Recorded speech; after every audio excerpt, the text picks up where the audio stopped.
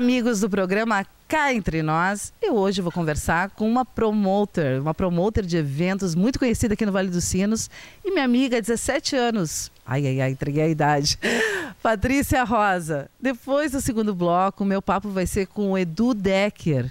Filho de peixinho, peixinho é, diz o ditado. Só que o Edu foi para um outro lado das artes. Ele é filho de Ariadne Decker e Mai Bavoso e é um músico de mão cheia. Então fica aí, fique ligado, fique comigo, começando mais um Cá Entre Nós. Olá, amigos do programa Cá Entre Nós. Eu hoje aqui de volta ao Solar da Marquesa, que já está virando uma espécie de QG do Cá Entre Nós. E com uma decoração diferenciada. Quem será que organizou essa decoração aqui no Solar da Marquesa? O solar já é lindo por ele só, mas quando tem uma decoração especial, tem o toque de alguém.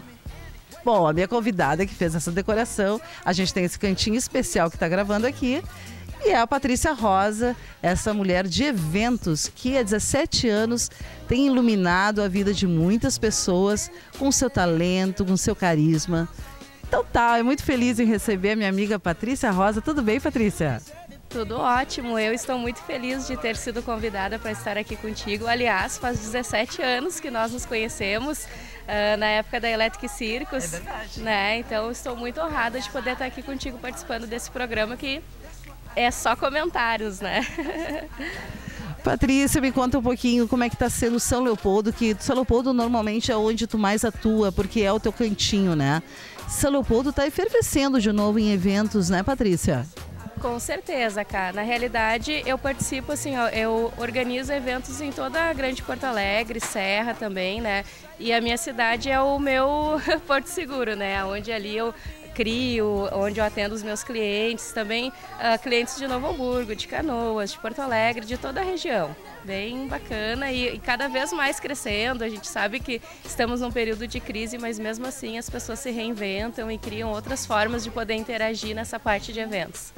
Agora também tem os mini weddings, né? Ou seja, os casamentos para, digamos assim, mais íntimos, né? Como é que tu tem trabalhado esse tema entre os seus eventos?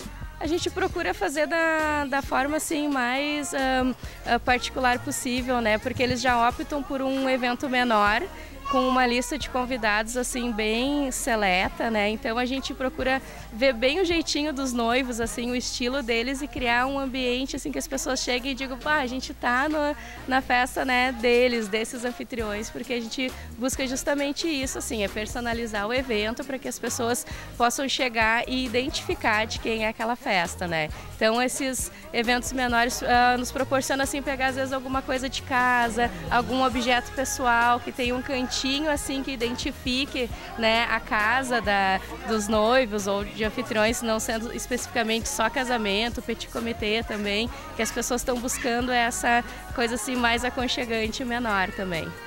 Eu tenho acompanhado também que tem pessoas escolhendo a casa dos avós para se casar. Isso é uma tendência? Sim, é que daí fica um ambiente mais familiar, né? Às vezes tem um histórico já de um casamento sólido, de anos, né? Então às vezes buscam justamente a casa dos avós para reportar isso, né?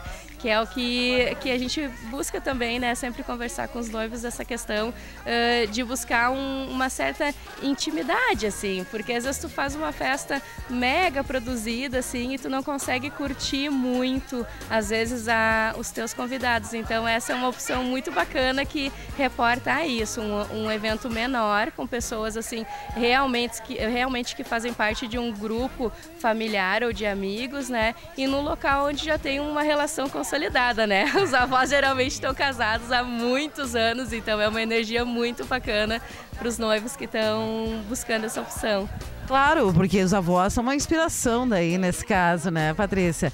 E agora tu também faz eventos corporativos, né? E eu tô sabendo que uma marca que bem consolidada já em Novo Hamburgo, aqui no centro de Novo Hamburgo tem uma loja, ela tá em eh, tá quando esse programa for ao ar, ela já está inaugurada em São Leopoldo. Eu gostaria que tu me falasse um pouquinho de como é que tá, já que neste momento que nós estamos gravando, tu estás nos preparativos desse momento especial. Queria que tu me falasse um pouquinho dessa parceria com a Nina Ro. Olha, tá sendo uma experiência maravilhosa, né? Qual é a mulher que não gosta de bolsa e sapato, né? Daí tu poder promover um evento, né? Que tu tá vendendo isso, que tu tá convidando, né? As pessoas formadoras de opinião, né? Mulheres que amam sapatos, está sendo muito legal, assim. Eu criei um evento no Face e agora a mulherada já tá postando foto. Ah, eu tenho Nina Rô, a gente vai fazer um, né, um sorteio, assim, no dia do evento. Tá muito legal. Essa interatividade, porque é uma paixão da mulherada. Então, para mim está sendo bem positivo assim o evento em si, o convite que eu tive para ser a promotor desse evento e essa interatividade que é uma coisa, né, cara, que cai entre nós, né? Qual é a mulher que não ama um sapato e uma bolsa, né? Então, pra, com certeza a Nina Rua vai ser sucesso também em São Leopoldo, é atrás do, do shopping, né, a loja, numa galeria nova que tem Espaço e Oliva, tá muito bacana, assim, com certeza, e a gente conta com a tua presença lá, né? O Estação Hamburgo também já tem a sua parada obrigatória agora em São Leopoldo, viu? A gente está ampliando bastante o nosso trabalho lá em São Leopoldo. Aqui do ladinho é colado, né? São Leopoldo.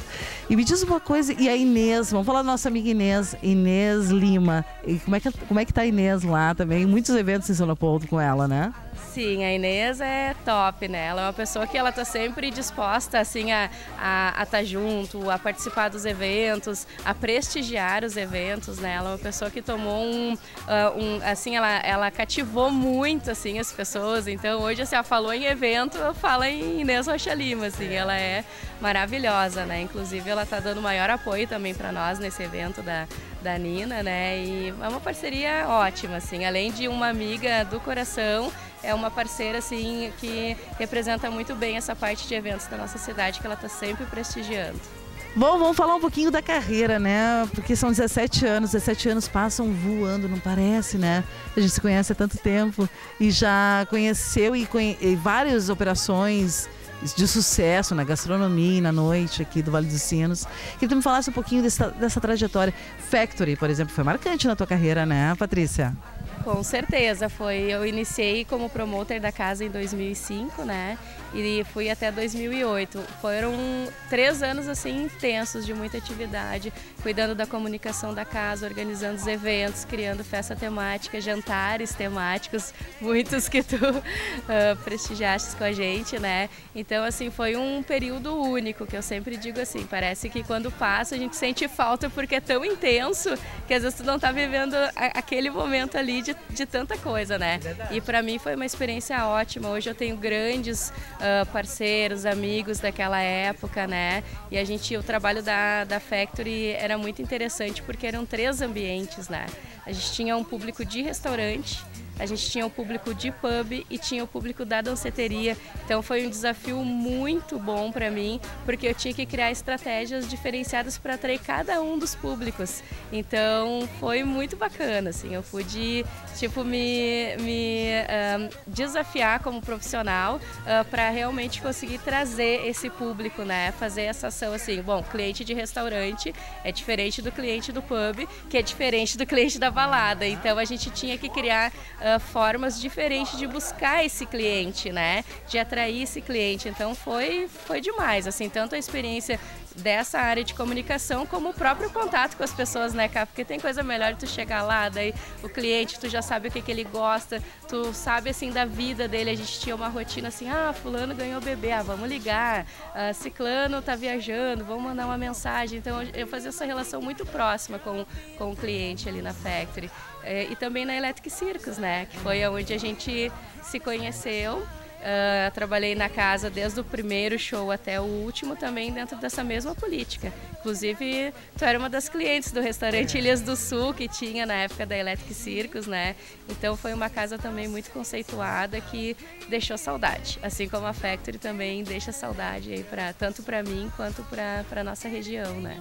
duas casas conhecidas, acho que tanto aqui a nível estadual, né, uh, como nacional e internacional, né, em épocas de feiras, de como o FIMEC, a gente recebeu um público muito bacana, é verdade, assim. É. Recebia de todos os lugares mesmo, né? Clientes assim, ó, que já na época de FIMEC, eles já se antecipavam, ó, deixa o camarote, clientes de vários, de outros países também que já tinham o nosso contato ali e diziam, ó, tá chegando o FIMEC, deixa lá o nosso camarote, restaurante reservado. E era muito legal, assim, é um, com certeza, duas casas que vão deixar saudade, já deixaram saudade, né, e ficaram na história. Então a minha carreira iniciou assim, como promoter da Factory Beer e promoter da Electric Circus e agora estou aí como promotora de eventos, né? Então tá, um abraço então para Inês de Rocha Lima, que é uma colunista bastante conceituada em São é uma simpatia, né? Ela tem um carisma todo especial. E a gente daqui a pouquinho volta com mais cá entre nós. Vamos fazer agora um breve intervalo e já já estamos de volta.